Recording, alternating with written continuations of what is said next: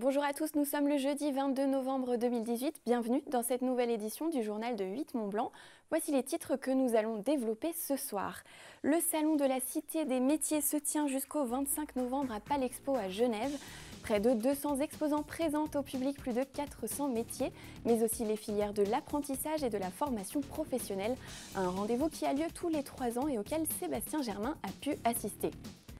La plus grande piste de cartes intérieure se situe en Haute-Savoie. Oncarte a ouvert ses portes à Viry depuis plus d'un mois. La structure était installée depuis plus de 20 ans à Ville-Lagrand. Son déménagement s'est accompagné de plusieurs innovations. Mais avant de développer ces titres, Victoria, on revient sur la mobilisation des avocats. Initié par le Conseil national des barreaux, le mouvement a débuté au printemps dernier. La profession s'oppose au projet de réforme de la justice du gouvernement. Les avocats organisaient ce jeudi une nouvelle journée justice morte. Ils étaient mobilisés par exemple à Tonon-les-Bains, comme vous pouvez le voir sur ces photos, mais également à Bonneville, Annecy, Albertville et Chambéry. Dans l'actualité également, c'est le maire de Passy qui interpelle Emmanuel Macron. Le président de la République a accueilli ce mercredi les maires de France à l'Élysée. Le maire de Passy, Patrick Colibet, en a profité pour interpeller le président au sujet du plan de protection de l'atmosphère de la vallée de l'Arve. L'élu haut-savoyard a notamment demandé au président pourquoi il avait reçu certaines associations de défense de l'environnement, une rencontre que le maire de Passy ne comprenait pas. On écoute la réponse d'Emmanuel Macron. Vous savez, euh, le plan de protection de l'atmosphère numéro 2 qui a été euh, validé et qui va être mis en œuvre à 53 actions, ces 53 actions manquent de financement. Dans la commune de Passy, nous avons cette particularité, c'est que nous avons des associations qui sont assez virulentes et qui ont été reçues dernièrement au ministère. Ce que je trouve un peu surprenant, les maires devraient être entendus de la même manière. C'est la raison pour laquelle je me permets de vous interpeller sur cette situation.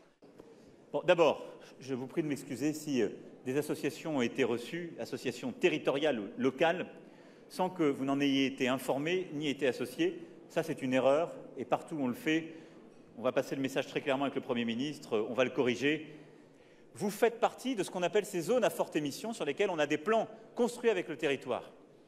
On va être au rendez-vous de ces plans et du financement. Mais pour être au rendez-vous du financement, il faut qu'ensemble on en partage la contrainte. Et c'est là aussi où il faut qu'on soit collectivement sérieux dans les débats citoyens et territoriaux qui sont les nôtres. Donc on va financer ça avec les économies qu'on fait. On le finance aussi avec la transformation de notre fiscalité. On taxe moins le travail, mais on taxe plus les énergies fossiles. Et donc si on n'explique pas aux gens à quoi ça sert les trajectoires carbone qu'on fait voter, si on n'explique pas aux gens à quoi ça sert l'impôt, précisément à financer ça, on se retrouve dans des situations incompatibles avec les républiques, mais incompatibles pour les maires que vous êtes, comme pour le président que je suis, qui est d'être face à des injonctions contradictoires qu'on ne réconcilie jamais. Suite à cette intervention, nous avons pu recueillir la réaction de Patrick Colibet à son retour du Congrès des maires à Paris. Il nous confie ses attentes pour la suite de ce dossier. On l'écoute. On ne peut jamais être satisfait d'une réponse quand elle n'est pas précise. Le fait de dire euh, on va être au rendez-vous de ce plan et du financement et que nous devons euh, agir ensemble et partager la contrainte. Alors partager la contrainte, ça veut dire quoi? C'est-à-dire que les maires de la communauté de communes du pays du Mont Blanc devront davantage s'investir. Je pense qu'on on en a déjà fait suffisamment. Moi, ce que je veux surtout, c'est que les élus soient un peu plus entendus, parce que, comme je l'ai dit tout à l'heure, euh, des associations ont été reçues au ministère de la Transition écologique, et comment dire, les maires, ou plutôt les élus, n'ont pas été conviés à ce genre de rendez-vous. Justement, sachez qu'une alerte pollution est en cours pour la vallée de l'Arve. Elle a été placée en vigilance jaune ce jeudi 22 novembre. Toujours sur le même sujet, j'ajoute que l'enquête publique sur le plan de protection numéro 2 de la vallée de l'Arve est en pleine préparation par les services de l'État. Elle débutera le 10 décembre prochain. Nous y reviendrons lundi dans le journal. Tous les trois ans, la Cité des métiers et de la formation du Grand Genève organise son grand salon à Palexpo. Pendant cinq jours, près de 200 exposants représentant 400 métiers différents accueillent le public. L'objectif est de présenter les filières de l'apprentissage et de la formation professionnelle. Sébastien Germain s'est rendu sur place pour cette sixième édition reportage. Santé, art, médias, construction ou encore commerce. La liste des secteurs d'activité présents à la Cité des métiers à Palexpo est bien entendu non exhaustive.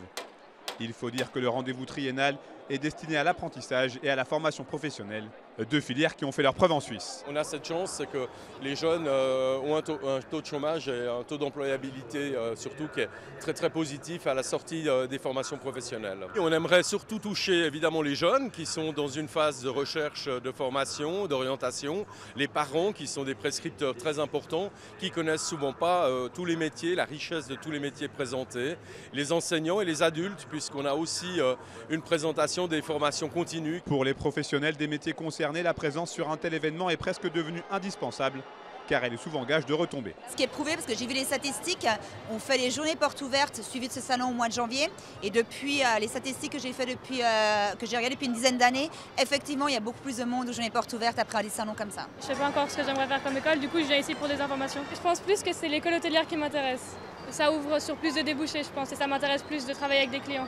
Et cette année, pour sa sixième édition, la Cité des métiers a choisi l'Observatoire astronomique de l'Université de Genève comme invité d'honneur. On a beaucoup de visites à l'Observatoire euh, et les gens n'ont aucune idée de ce qu'on fait. Et c'est pour ça qu'on a construit cette reproduction du Very Large Telescope européen, qui est le plus grand télescope qui existe euh, à l'heure actuelle. La Suisse a besoin de scientifiques, a besoin d'ingénieurs. Alors elle n'a peut-être pas besoin de 500 000 astronomes, on est bien d'accord, mais si on peut créer des vocations euh, scientifiques, alors on a atteint notre but. Le salon est ouvert jusqu'à ce dimanche à Palexpo. Avec l'entrée gratuite, la Cité des métiers devrait accueillir jusqu'à 80 000 personnes sur 5 jours. La Chambre d'agriculture de Savoie-Mont-Blanc accompagne les agriculteurs de Savoie et de Haute-Savoie. Dans le cadre de sa politique de renouvellement des générations, elle remettait ce jeudi matin des chèques conseils à plus de 150 jeunes agriculteurs. Ce dispositif vise à accompagner ces jeunes qui ont débuté leur activité en 2018. Une quarantaine d'entre eux a assisté à cette cérémonie de remise de chèques. On écoute quelques réactions recueillies sur place. Il y a surtout au départ euh, une problématique de gestion et euh, euh, en fait l'agriculture est gérée par différents organismes, enfin gérée ou on va dire en partenariat plutôt. il y a beaucoup d'aide, il y a beaucoup de soutien, il y a du collectif et du coup il y a un environnement très vaste et il faut avoir toutes ces notions-là. donc ça demande énormément de compétences. Après, il y a des gens qui accompagnent, mais ça fait toujours beaucoup, beaucoup d'interlocuteurs. Et du coup, bah, voilà, faut être tout le temps à droite, à gauche pour aller voir les interlocuteurs et, essayer de finalement bah, d'avoir une vision globale des choses pour monter son projet euh, On a un panel de conseils qu'on peut leur apporter, conseils individuels ou collectifs suivant leur projet. Et aujourd'hui, chaque conseil, bah, ils viennent en appui euh, là-dessus pour euh, bah, réduire le coût, hein, tout simplement. Donc, ce n'est pas de l'argent en numéraire à l'instant T, mais c'est une, réduction sur un coût d'accompagnement. Ils ont deux ans pour utiliser leur chaque conseil. Ça peut aller de l'accompagnement relations humaines dans le cadre, par exemple, d'un GAEC, ou ça peut aller du conseil pour monter un magasin de vente, un point de vente collectif, euh, ou un atelier de diversification par exemple. OnCart, le plus grand karting indoor de France, a ouvert ses portes à Viry, près de Saint-Julien en Genevois, en octobre dernier. Installé depuis 22 ans à Ville-Lagrance, ce déménagement était un vrai challenge. Le directeur a misé sur la nouveauté avec une piste intérieure de 6 mètres de large et des cartes électriques pour les enfants. Juliette Vincent-Seigné a testé pour vous ce nouveau karting sensation garantie. Combinaison enfilée et casque accroché, je suis prête pour tester les 700 mètres de piste du karting de Viry. Mais avant de monter dans le kart, un briefing des consignes de sécurité s'impose.